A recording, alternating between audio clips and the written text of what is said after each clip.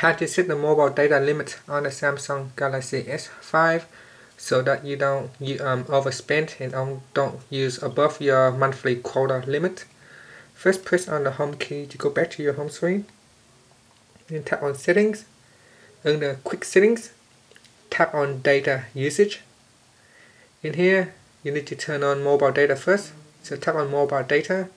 Then from the bottom here, tap on set mobile data limit checkbox. Once the checkbox is selected, you can then set the data usage cycle. This is when um, your mobile data plan starts each month. So choose the date. So basically this date normally is on the date that you've uh, first uh, signed up the contract with your network carrier.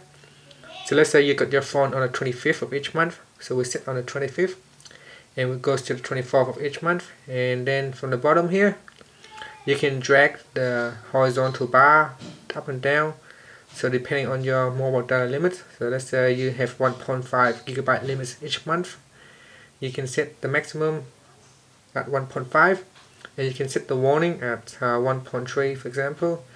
And when your data usage get to 1.3 your phone will warn you that you have reached um, a, a, warning level then you can still be able to use your data limit once it reach 1.5 uh, uh, when it hits this uh, threshold then your phone will basically block you from using the, the internet or the data.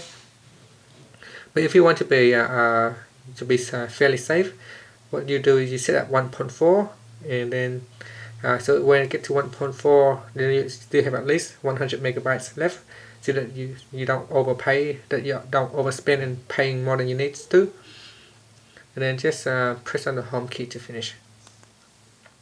Thank you for watching this video. Please subscribe to my channel for more video tutorials